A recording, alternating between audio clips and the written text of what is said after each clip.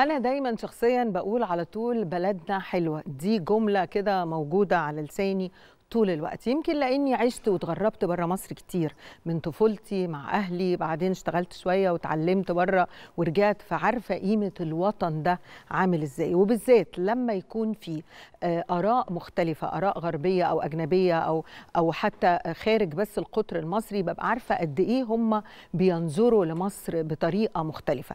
وكتير لما بنقعد نتكلم عن بلدنا ونقول الحاجات بتضايقني قوي كلمة تطبيل. لا أنا أقدر أطبل لبلدي طول الوقت. الكلمة اللي بقت منتشرة بلدنا حلوة.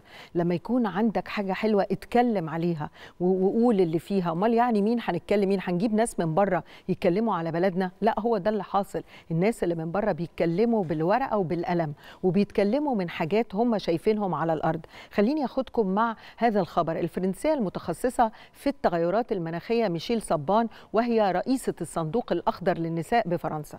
زارت مصر آه، ميشيل صبان مؤخرا ضمن وفد فرنسي وكتبت مقال. في المقال استعرضت فيه جوانب عدة عن زيارتها لمصر وأكدت أن مصر آه، آه، يعني زي ما شافتها آه، يعني جددت نفسها وأن مصر أمنت حدودها واستثمرت في حاجات كتيرة زي ال- التقنيات المتقدمة. وكمان أكدت أنه منذ وصول الرئيس السيسي للصدف للسلطة في مصر وصفته بأنه يعني هو يعني أوجد هذه الحضارة المصرية الجديدة وإن ده مستوحى من الحضارة الفرعونية. وأكدت كمان ميشيل صبان إلى أن مصر آه، آه، طريقها آه، لكي تصبح من الآن ومستقبلا بلدا رائدا اقتصاديا وثقافيا بالمنطقة.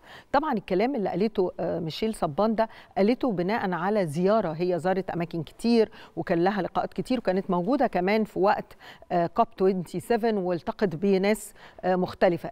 لكن في كمان في ختام مقالها آه، استعانت ميشيل صبان بكلمة الرئيس السيسي خلال قمة آه، المناخ آه، كوب 27 وحينما قال قالت دعونا نواصل جهودنا من أجل حماية الحياة على كوكبنا لأنفسنا وللأجيال القادمة. يعني أعتقد إنه ال- المقال اللي اتكتب ده أو اللي كتبته ميشيل صبان ده مقال بناء عن الزيارة اللي هي شافتها في مصر. آه، الغربي لما بيزور أي بلد بيبقى عنده حاجات كتير قوي لازم يتأكد منها. شوف البلد دي أهلها بيتعاملوا إزاي. بيشوف التقدم بالأرقام بيشوف الخريطة عاملة إزاي بيشوف الإنجازات على الأرض وبيشوف كمان وضعها الاقتصادي كان إيه.